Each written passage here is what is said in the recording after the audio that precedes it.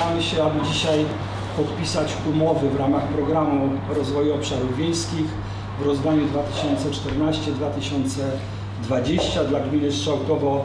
To wielka radość i satysfakcja, bo w gospodarce wodno-ściekowej skutecznie zaaplikowaliśmy o projekt na 3,5 miliona złotych, z czego w wypadku gminy Strzałkowo dofinansowanie, tak jak innych zresztą gmin 63,63%, to daje w naszym wypadku 1 milion 800 tysięcy złotych z programu rozwoju obszarów wiejskich.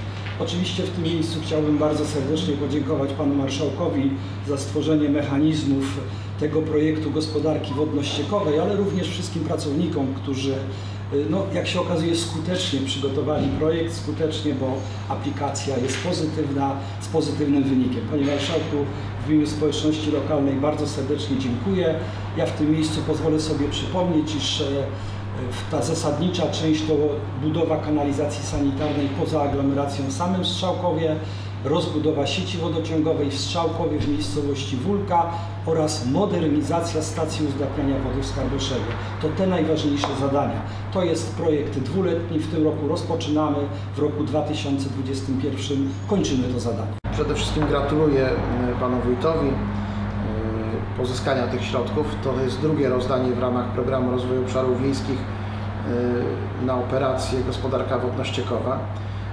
Tych pieniędzy siłą rzeczy jest już coraz mniej, bo kończy się okres programowania 2014-2020, więc myślę, że tym bardziej radość większa, że udało się te środki pozyskać. Kwota bardzo wysoka, bo maksymalne dofinansowanie generalnie, jakie może przypadać gminie, to jest do 2 milionów złotych. Takie e, były obwarowania ze strony Ministerstwa Rolnictwa. E, milion osiemset prawie to jest bardzo duża e, kwota, więc tym bardziej ten fakt cieszy.